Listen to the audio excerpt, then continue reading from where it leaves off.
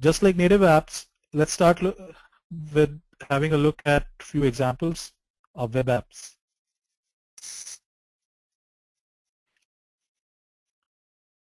So of course, we are all familiar with mobile browsing. This is the most trivial use of the browser.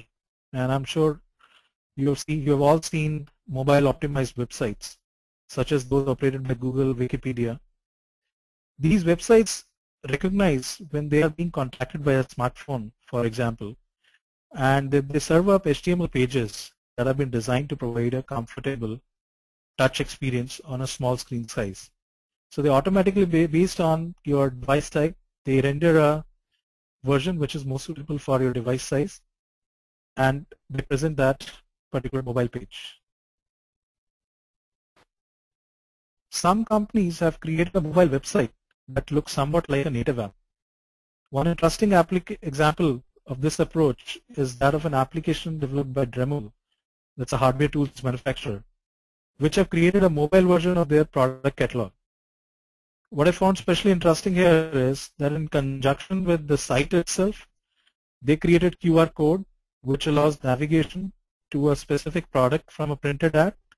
So the user will scan the QR code with a QR reader application using the phone's camera. Application will detect the QR code and will redirect it to the right place within the online catalog. If you see the look and feel, look and feel is exactly similar to what a native app is, but it's not a native app.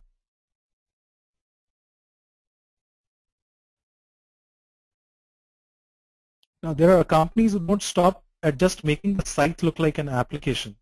Take Google for example.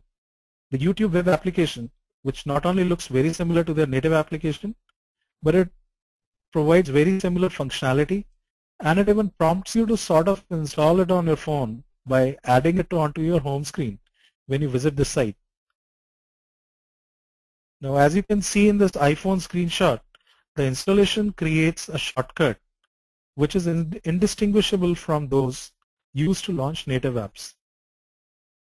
When the user taps the shortcut, the YouTube web app is launched. So the user experience, from a user experience perspective, there is no difference between a web app and a native app.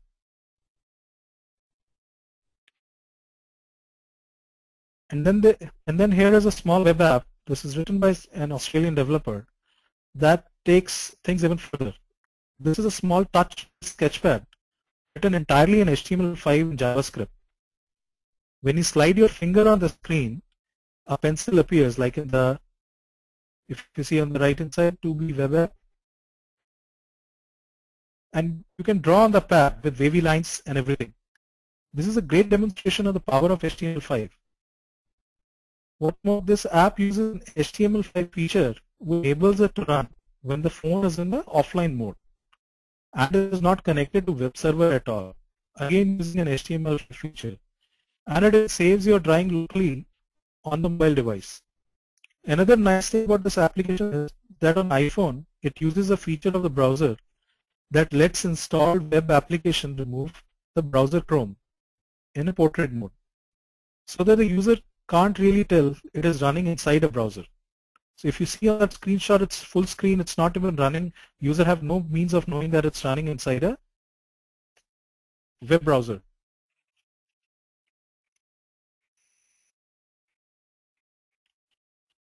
So these four examples of browser-based pages can really help us understand the wide spectrum of offerings available on the mobile web today.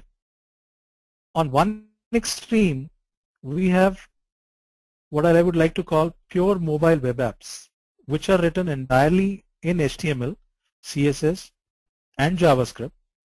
And the key difference is that they are served from a web server, but are almost indistinguishable to the user from native apps. They are installed on the home page, launched like native apps. They have an interactive user interface, which is highly optimized for touch screens. And while data is retrieved from the servers using AJAX, the logic for rendering the user interface resides entirely on the mobile device, which means that it can be very responsive, doesn't require long waits for a response from the web server, and because the server doesn't render the UI, the application can have an offline mode allowing it to function without network connectivity.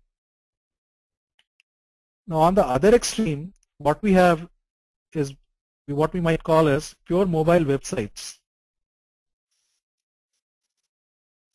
The user visits them by typing a URL in a browser and they have a navigational UI which means that the visitors mostly navigate between pages that display static data. Pages have a generic look and feel so that they look like web pages. Logic for rendering these pages is executed on the server, for example using PHP, JSP or Python, which means that the user usually waits for the pages to be retrieved from the network and which also means that any interactive functionality requires network connectivity and doesn't really work when the phone is in offline mode. So you, this, so you see the spectrum of options available within web apps. On one side, we have so much proximity to native app that it is almost indistinguishable. On the other side, it's bringing the internet to the mobile. Along with those two extremes, we have a very wide range of possibilities. With many, with most websites actually making use of their own mix of app features in a way that puts somewhere in between pure mobile web apps and pure mobile websites.